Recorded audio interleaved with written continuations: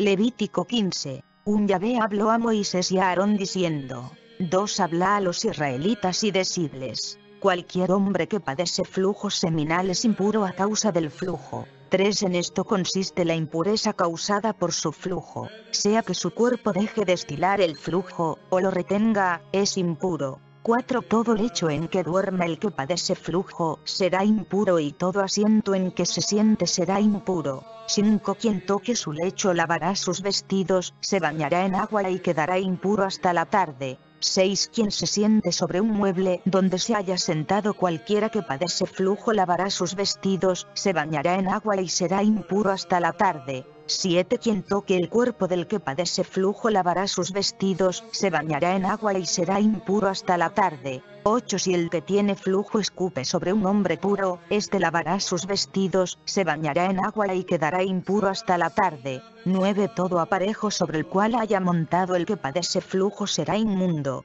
10. Quien toque un objeto que haya estado debajo de él quedará impuro hasta la tarde y el que los lleve lavará sus vestidos, se bañará en agua y será impuro hasta la tarde. 11 Todo aquel a quien toque el que padece flujo, sin haberse lavado las manos con agua lavará sus vestidos, se bañará en agua y quedará impuro hasta la tarde. 12 Toda vasija de barro tocada por el que padece flujo será rota, y todo utensilio de madera será lavado con agua. 13 Si el que padece flujo sana de él, se contarán siete días para su purificación. Después lavará sus vestidos, se bañará en agua viva y quedará puro. 14 al día octavo tomará dos tórtolas o dos pichones y se presentará ante Yahvé a la entrada de la tienda del encuentro, para entregarlos al sacerdote. 15 El sacerdote los ofrecerá, uno como sacrificio por el pecado, el otro como holocausto, y de esta manera el sacerdote hará expiación por él ante Yahvé, a causa de su flujo.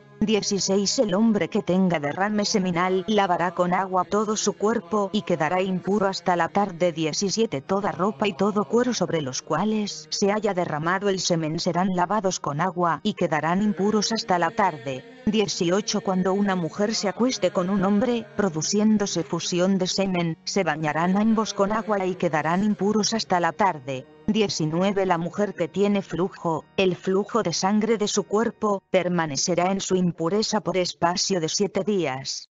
Y quien la toque será impuro hasta la tarde. 20 Todo aquello sobre lo que se acueste durante su impureza quedará impuro, y todo aquello sobre lo que se siente quedará impuro. 21 Quien toque su lecho lavará los vestidos, se bañará en agua y permanecerá impuro hasta la tarde. 22 Quien toque un mueble cualquiera sobre el que ella se haya sentado lavará sus vestidos, se bañará en agua y será impuro hasta la tarde. 23 Quien toque algo que esté puesto sobre el lecho o sobre el mueble donde ella se sienta quedará impuro hasta la tarde. 24 Si uno se acuesta con ella se contamina de la impureza de sus reglas y queda impuro siete días. Todo lecho en que él se acueste será impuro. 25 Cuando una mujer tenga flujo de sangre durante muchos días, fuera del tiempo de sus reglas, o cuando sus reglas se prolonguen, quedará impura mientras dure el flujo de su impureza como en los días del flujo menstrual. 26 Todo lecho en que se acueste mientras dura su flujo será impuro como el lecho de la menstruación, y cualquier mueble sobre el que se siente quedará impuro como en la impureza de las reglas.